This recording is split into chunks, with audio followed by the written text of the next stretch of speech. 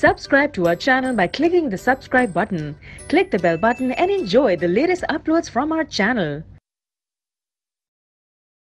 Next question is How useful is the study of nature of body cavity and coelom in the classification of animal?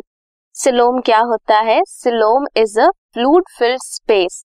कहाँ पे? Between body cavity. Presence और absence of coelom हमें बताती है कि animal की position कहाँ है इवोल्यूशनरी हिस्ट्री में? अगर सिलोम प्रेजेंट है तो एनिमल जो है वो ज़्यादा कॉम्प्लेक्स ऑर्गेनिज्म होगा और अगर नहीं है तो वो सिंपलर वन होगा। Helps in the classification of animal आप देख सकते हैं, यहाँ पे सिलोम कहाँ प्रेजेंट होता है? विद इन मीजोडर्मल लाइनिंग अगर सिलोम एबसेंट है तो वो एसिलोमेट्स होते हैं। इस फ़र्स्ट डायग्राम में आप देख सकते हैं, यहाँ पे एक्टोडर्म है मिजोडर्म है एंडोडर्म है बट सिलोम नहीं है।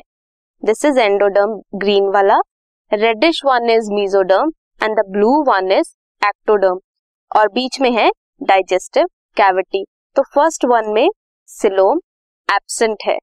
नेक्स्ट वन देखेंगे eucoelomates eucoelomates are true coelom जिनके पास सिलोम होता है। आप देख सकते हैं, ये रेड वाली जो है, ये मीजोडर्मल लाइनिंग है। मीजोडर्मल लाइनिंग के विद इन ये सिलोम प्रेजेंट है। सिलोम में क्या होता है? सिलोमिक फ्लूड तो ये ट्रू सिलोम है और इसके एग्ज़ाम्पल है ग्लाइसीरिया जितने भी एनालिड्स मोलस्क आर्थ्रोपोड्स इकाइनोडर्म्स और कोडेट्स होते हैं, वो सिलोमेट्स होते हैं यू सिलोमेट्स होते हैं।